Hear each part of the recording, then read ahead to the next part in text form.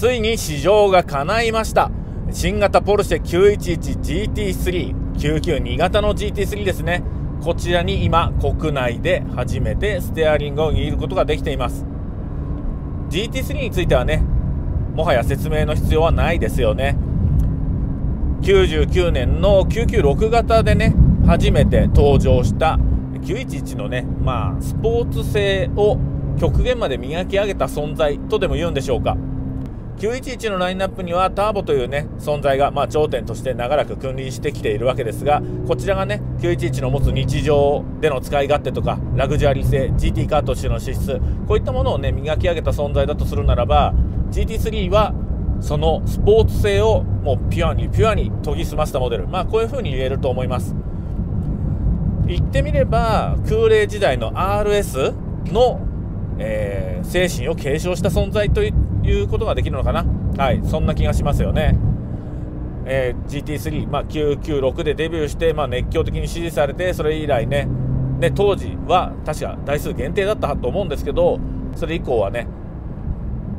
レギュラーというかえそういう存在としてもう圧倒的な支持を得ているという形になりますよね。で今回の992なんですが、えー、ベースの車のポテンシャルが上がってる。以上に今回ね大幅な進化を遂げています。まずはねエンジンから見ていくとこちらは、えー、先代からほぼ継承しています、えー、4リッターの、え水平対向6気筒自然吸気ユニットですね。9000回転まで回るこのエンジンなんですがレースで使ってるカップカーだったり RSR だったりこういう車で使ってるものと基本設計が実は本当に一緒です。例えばサーキットで音聞くとね一緒なんですよね。これって、え、991の後期型から、まあ、使われているわけでその時に新開発されてまさにねモータースポーツでも同じものを使うよということで開発されたエンジンです。でそれがね今回も継承されていますが最高出力はね10馬力上がりました。510馬力ですね。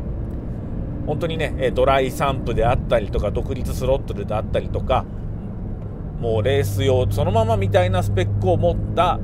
まあそして何といってもこの時代に自然吸気ですからね。自然吸気の9000回転レブというねまあ奇跡のような夢のようなことを実現してくれてるのがこのエンジンですね。でトランスミッションは PDK と MT と用意されますね、えー、MT も最初から用意されていると。やっぱりここの、えー、エンジンをねマニュアルで味わいたいという人がいっぱいいたということで一時ね991の前期ではなくなったマニュアルですが復活してね991の後期で復活してこの992でも最初から用意されていると、えー、今回の車はこれ、えー、シフトレバーっぽいですけど実は PDK です、えー、7速の PDK こちらをね、えー、採用しています。でこのパワートレーンはね、まあ、継承というか進化型なんですがシャシーは実は大幅な変更が行われました。初めてのことなんですが、えー、なんとフロントサスペンションが長らく911といえばストラットマクファーソンストラットだったわけですが初めて、えー、ダブルイシボンこちらになりました。もうね当然これはロードホールディングを高めるのとサイドフォースに対して強いのでとかダンパーをね、えー、横の方向からの力を受けないのでスムーズに動かすことができるとか、まあ、メリットはいっぱいあるんですがこれまではね、まあ、ポルシェかたくなにストラットを使ってたストラットで十分であるとね言ってたんですが、まあ、今回これを使ってきたよと。であとはこの車に関して言うと車体の軽さもポイントだと思います。えー、車検証を見ると1470キロとなってます。これほぼほぼ、えー、全型と同じ数字なんですがタイヤがね例えばフロント20リア21インチのミックスタイヤでワイド化されていたり、まあ、それに伴ってボディも広くなってますよね、まあ、そういうことをしてるにもかかわらず車重がねキープできてるのはカーボンパーツが実はねいっぱい使われてるんですよね。フロントフードのカーボンとかね、まあ、そういう具合であの基本骨格はねもちろんねそういうものは使ってないんですがミックスマテリアルのね、えー、992のボディなんですが外反パネルにそうやってまあカーボンとかそういう軽いものをいっぱい使うことで車重を抑えているという形になりますね。1470は今ね考えると軽いですよね。はいまあそんなハードウェアの概要なわけですがじゃあ乗ってどうなのかというと、えー、当然ながらというか超刺激的なマシンですよね、えー、今ねこれは、えー、ノーマルモードで乗ってるんですが、まあ、まずはね乗り心地はノーマルでも硬いです。というか実はですねこれ面白いんですけど、えまあモードねここでいろいろ切り替えできるんですが走行モードはノーマルスポーツなどなどあるんですけどねシャシーはねスポーツとトラックしかないんですよ。だから乗り心地のいいモードとかそういうのはね用意されてないんですよね。もうそのぐらいねこの車は割り切った車になってると。だからもうかなり上下動してて、えー、これノーマルなんですけど、えー、実はここまでね高速道路乗ってきたんですがまあまあ結構 あの辛いなこの車はという感じはありました。まあ、この車ね PDK ということもあって高速道路の移動はねそんなにすごいファンなものではなかったなというのが正直な印象です。でもそれはね決して悪口ではなくてそのぐらい演出とかなしにピュアにスポーツドライビングを突き詰めてるのがやっぱり GT3 なんだなということをねそういうところからもね僕はすごいポジティブに感じましたね。でもねせっかくワインディングロード来たんでモードを切り替えてみましょう。はい。実はこのねモードもノーマルスポーツトラックと他の911とはね違う設定になってます。でスポーツモードにしてみました。もうねスポーツにしただけで PDK のこう変速プログラムが変わったのはね実感できますね。スポーツエキゾーストもね、えー、ちょっとスポーティーな音を奏でるようになりました。まあまず語るべきはエンジンですよね。なんて言ったって9000まで回るっていうね。これはい今2速です。ちょっと展開してみましょうか。一瞬だけですよ。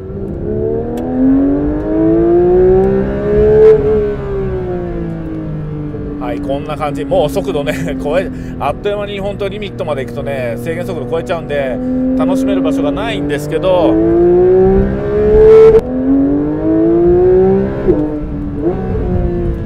そうこのね PDK の反応シフトダウンの反応とか本当いいですよね。もうこのエンジンの気持ちよさはね筆舌に尽くしがたいものがあります。あマニュアルも楽しいけど PDK もやっぱいいですね。もうこんだけ速くなってくると正直ねワインディングでもサーキットでも PDK のこう恩恵は大きいなと思います。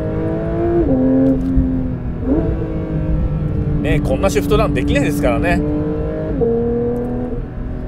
はいまあ、こんな風に、えーと、まずエンジンはもう最高、えーと、ギアボックスも最高、もちろんね自分で買うならマニュアルがいいななどという気持ちは持ってますが、いやいや、PDK も楽しい、これはね、2台持ちたいぐらいだなっていう感じですかね。はい。実はね、このエンジンに関しては、まあ、騒音規制、どんどん厳しくなってきてますんで、あの新型ね音どうなのかなって心配してたんですよね。実は、えー、991の後期型の試乗会行った時にね現地のエンジニアもう音はちょっとってこう顔を曇らせてたんですよ。もう次のねこのモデルの開発をしてた人たちがね。だけどねまあ実際来てみたらもう全く気有であったなというふうに思います。すごく気持ちいいです。でもねこの車語るべきはハンドリングかなという気がしてます。このねフロントダブルウィッシュボーンこれを使ったねこのシャシー素晴らしいですね。本当によく曲がる。あのロールはほとんど感じさせることなくでも最低限のインフォメーションというかねちゃんとあって車だけが曲がっていく感覚ではなくてしっかりと車を感じながら曲がっていく。でフロントの入りが非常にでそれに対してこうリアもしっかりと追従してきてくれる。だからねすっごい意のまま感ですよ。こんなに911がよく曲がっちゃうのかと。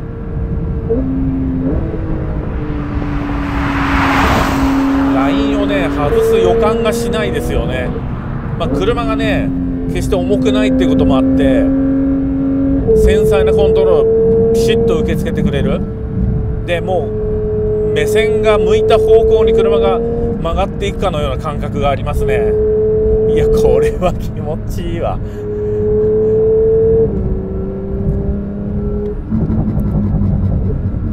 オプションでねカップ R タイヤというサーキット用タイヤもあるんですがえー、こちら履いてるのは標準のタイヤですねでもねまあ、まさにワインディングローだったらもう何も不満があるはずがないというような走りになってますね。まあ、このねサスペンションなんですがもともとはねフロントこの W シボーンはレーシングカーの方から先に使われていたんですけど特にねこのロードカーに関して言うならば991からねリアホイールスタイルついたじゃないですか。これにね多分ね合わせてきたというような感じかなとこうやって乗ってると思います。991の時には確かにリアが本当にこう安定してるしよく曲がるのを助けてくれる感じだったけどそれでねまあ